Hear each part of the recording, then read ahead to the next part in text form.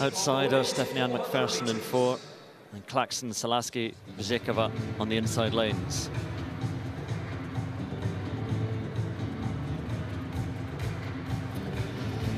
Starting on the outside in lane six, two times the national Early down five, but outside her, Phil Healy won the uh, Irish indoor title for a second time recently. Good 60 and 100 metre runner as well, so she'll get out fast. Eilidh Doyle, UK indoor champion, was second behind Phyllis Francis in Glasgow recently. Hurdler, of course, but on the flat indoors. Stephanie Ann McPherson in lane four. A glimpse of her. Nothing too impressive so far this season from McPherson. Alexandra Bezekova of Slovak Republic. New PB this season, 52.68. Salaski of Serbia in two, and Grace Claxton of Puerto Rico on the inside.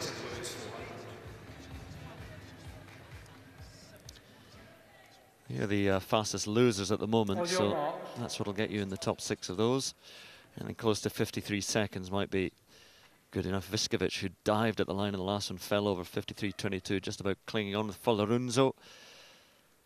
So Claxton, Salaski, Bezekova, McPherson of Jamaica, Eilidh Doyle goes in five, and Phil Healy from the Bandon Athletics Club in uh, County Cork goes in lane six.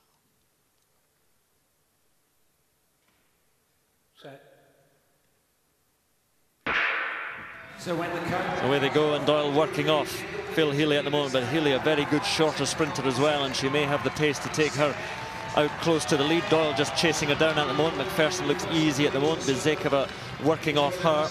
Good run on the inside at the moment from Grace Claxton of Puerto Rico in the very tight inside lane one. And now as they hit the cones, they will break, and Phil Healy trying to just cut across there and take that lead. Now she'll try and hold on. McPherson just working away ahead of Eilidh Doyle. So three away and cleared at the moment. Two to go through automatically. Doyle in third at the moment. Phil Healy, this will be a case of trying to hang on for the Irish athlete at the moment. It'll be grim work over the last 100 metres. McPherson sitting on her shoulder, and Doyle should have some strength to move through at the moment.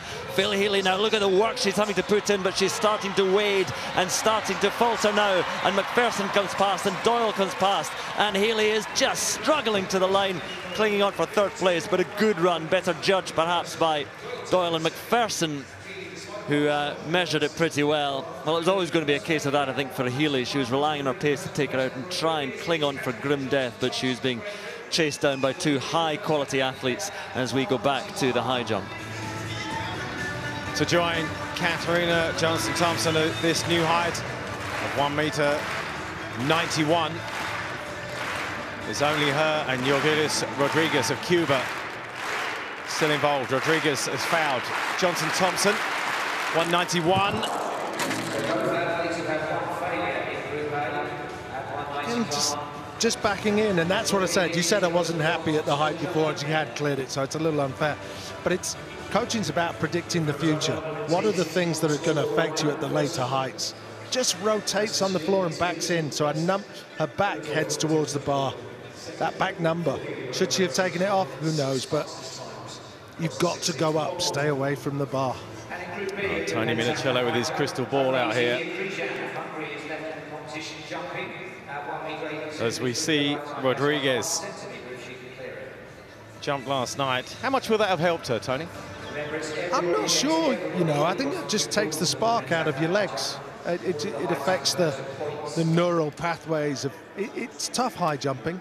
See, even there, even there, we see the French coach, look, there you go, I can predict the future. He's telling her about backing in and rotating and backing into the bar, I guess, but my French is a little rusty. Rodriguez, after a foul at this height, 191 too much. Well, it looks like the height that's going to finally sort out the best of the multi-eventers. We know Johnson Thompson's capable and she can start to really take control of this five-event competition. Rodriguez is just going for the bar early. The higher the bar goes up, the more you have to wait. You have to wait for your center of gravity to get up to the optimum point before going over the bar.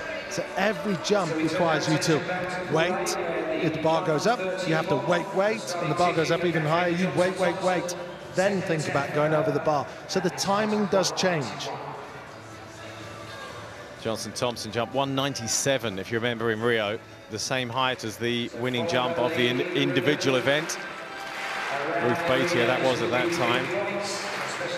201 it was last night. But this is multi-events and 191 after a foul at the first attempt. Goes again, it's much better. That's more like it.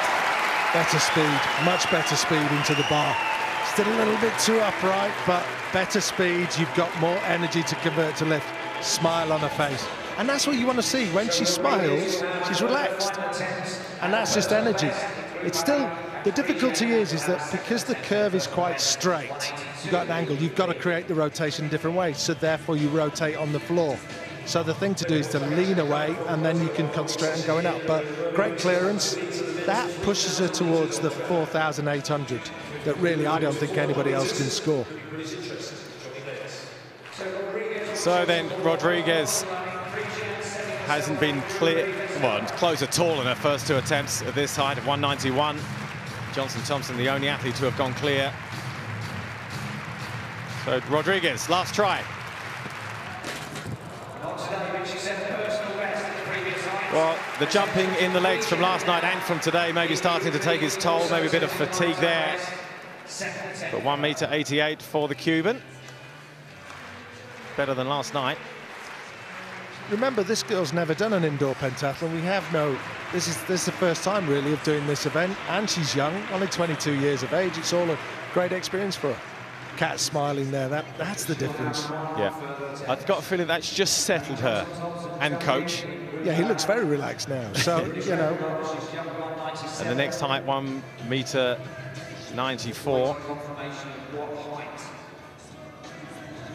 So really interested to see how Kat handles this. She is an odds-on favourite to take this title. How hard is that for her to handle, Tony?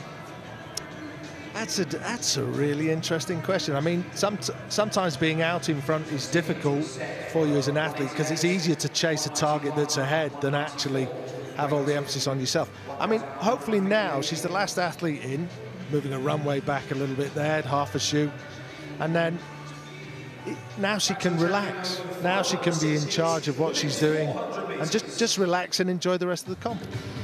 Well, let's wrap up the uh, previous heat in the women's 400 metre. Fascinating run because McPherson Eilidh Doyle came through to the automatic qualifiers. Phil Healy, that 52.75 was the same time that Zoey Clark ran in winning her heat. It's a different way to run it. Healy went through the first 200 in 24.03, 28.72 for the second uh, 200. She was the fastest through the first 200, so Phil Healy will go through as one of the fastest losers. And therein is the dilemma of the 400 metres indoors. Go too hard